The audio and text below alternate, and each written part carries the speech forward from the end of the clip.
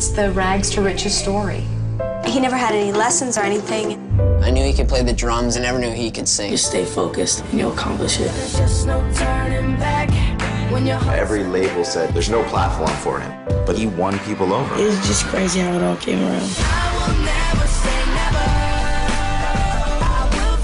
You sell out the garden, you're for real.